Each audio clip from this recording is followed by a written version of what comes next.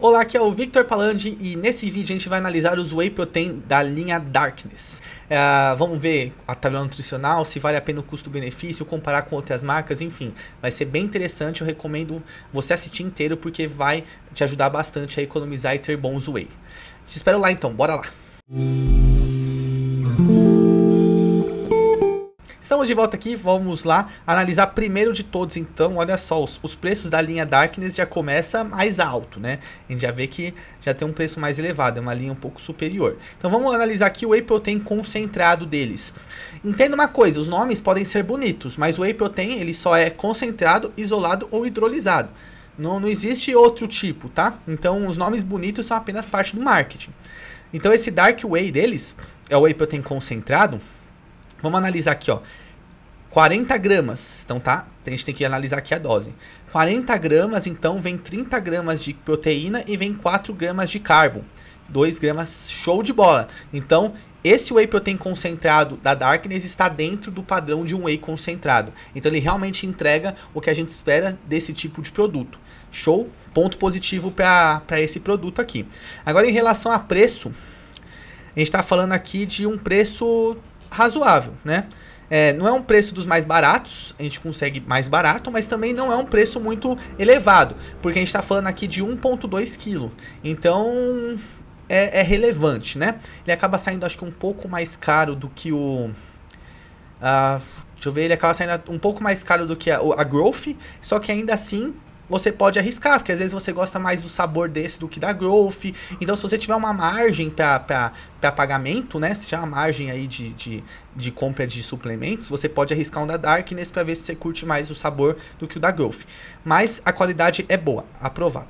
Vamos analisar agora então uh, o outro whey protein deles aqui. A gente vai analisar então agora o Nitro Hard. O Nitro Hard ele é, vamos ver, vamos ver, vamos ver, um blend proteico. Então ele não tem só o concentrado, ele tem, vamos ver aqui, ele tem o isolado e tem o concentrado. Beleza? Beleza, bora lá. 40 gramas então, 3 gramas de, de carbo, 31 de proteína, 2.9 de gordura. Ou seja, tabela nutricional também aprovada. Show de bola, vale a pena. Vamos analisar o preço. O preço aqui, ó, ele já é um pouco mais elevado. Então, comparando preço a preço, não compensa o Nitro Hard. Compensa mais o primeiro Whey Protein que a gente analisou, o Whey Protein concentrado. Por quê? Porque com o preço de 131 reais, você leva 1.2 kg. Você leva 1,2 kg gramas de Whey Protein concentrado. Então, enquanto aqui, você paga o mesmo valor e você leva 900 gramas de Whey. Então, a qualidade é boa? É boa, não estou falando que seja ruim. Mas se a gente for analisar custo-benefício, compensa mais o primeiro Whey Protein, o concentrado tá bom? Não é porque é blend proteico, não é porque tem isolado, que não sei o que, porque pro nosso corpo tudo vira aminoácido. Então não importa se está comendo frango, se você está tomando whey protein isolado, whey protein hidrolisado, o que quer que seja. No fim vai tudo virar aminoácido. Vai tudo ajudar na construção muscular. Então, tempo de absorção não faz diferença pra gente. Esse negócio de janela anabólica, né, tomar a proteína de mais rápida absorção depois do treinamento, caiu por terra. A ciência já desmentiu isso. A janela anabólica leva muito mais tempo. Você pode comer um pratão de arroz, feijão e bife que vai ser muito benéfico ainda para o seu crescimento, para sua hipertrofia, tá bom? E isolado e hidrolisado só valem a pena para quem tem intolerância ou alergia à lactose. Se você não tem problema com lactose, vai no concentrado, mais barato, melhor custo-benefício. Agora aqui, ó, Iso Hydro X. Olha que louco. Whey protein isolado e hidrolisado com maca peruana. maca peruana é um fitoterápico que auxilia na, na libido. Então, você vai ter um, uma, um up de libido aí. Vamos ver aqui. É, o preço dele, analisando o preço. R$ 183,900 gramas, ou seja, uma facadinha, né? Vamos combinar que é um pouquinho carinho.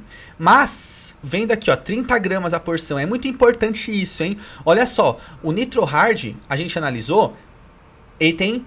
Eles colocam na tabela a porção de 40 gramas. O Dark Whey, a tabela é com a porção de 40 gramas. Só que esse daqui, a porção é de 30 gramas. E Vitor, qual que é a diferença? A diferença é que quando você vai olhar os carboidratos, as proteínas, você tem que se atentar a isso. Porque, claro, numa porção de 40 gramas vai ter mais proteína do que uma porção de 30 gramas.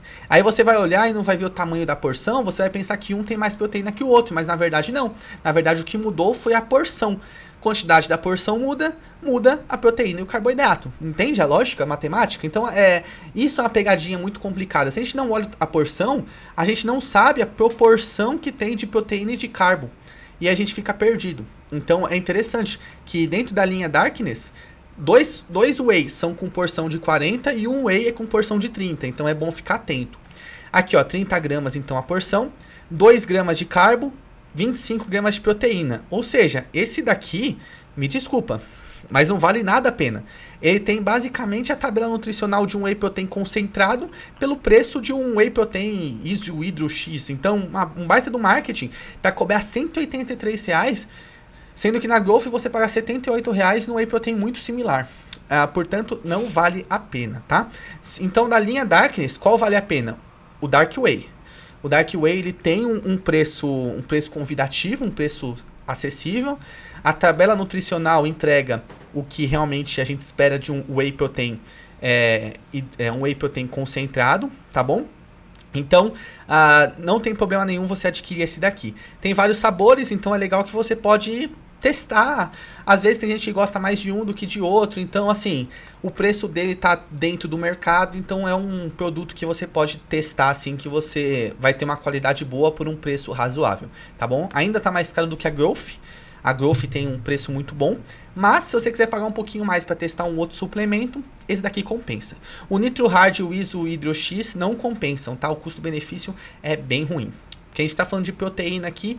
E ah, um é isolado, um vem maca peruana. Se você quer maca peruana, você compra a maca peruana individual. Você não precisa ter maca peruana dentro do whey protein, entendeu? Então isso não explica um preço ser tão mais elevado.